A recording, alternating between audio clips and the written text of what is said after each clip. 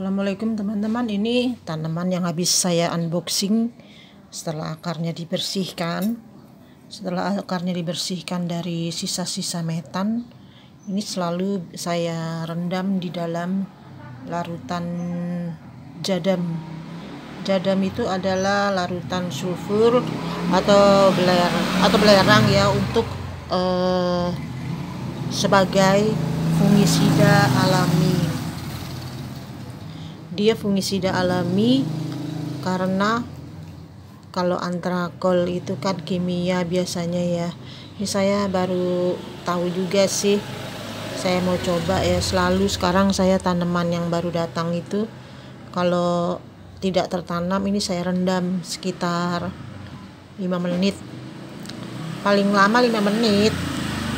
Paling cuman 2 menit. Ini karena ini eh, bau ya ini cairannya.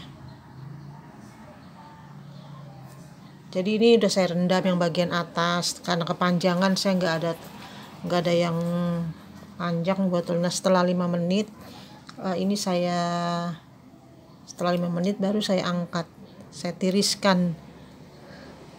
Nanti baru saya tanam sore. Ini, ini kan siang saya tanam sore di media tanam yang kering. Jangan basah nanti dua hari baru disiram. Jadi tanamnya di media kering aja. Media kering yang poros seperti biasa. Ini ini sepia ini ini sepia hibrid ini. Ini yang ini. Ini hibrid nah jadi ini saya angkat-angkat dulu begini ditiriskan. Ini bagus ya apa sih namanya tadi? Ini yang ini.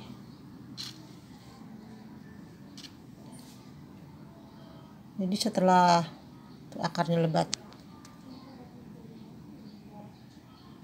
Akarnya lebat. Ini setelah diangkat seperti ini baru deh sore nanti saya tanam di media yang media yang kering ya teman-teman. Ini griffin griffin. Kecil tapi akarnya mantap. Ini yang ini bonus ini. Kayaknya uh, semayan biji ini juga bonus. Banyak bonusnya. Ini juga bonus. Saya cuma beli 4 tapi bonusnya banyak. Belinya 4 saya belinya yang ini aja nih ini. Ini. Ini. Dan ini. Beli empat ini bonusnya seabrek tuh. Oke demikian. Jadi setelah dari pengiriman akarnya bersihkan lalu direndam ke larutan jadam. Untuk ini ini belum. Nah sekarang kita tiriskan. Oke demikian teman-teman.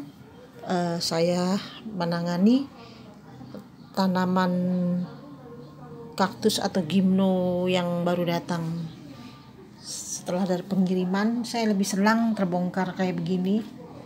Karena jadi kelihatan dia ada penyakitnya apa enggak ikat oke assalamualaikum warahmatullahi wabarakatuh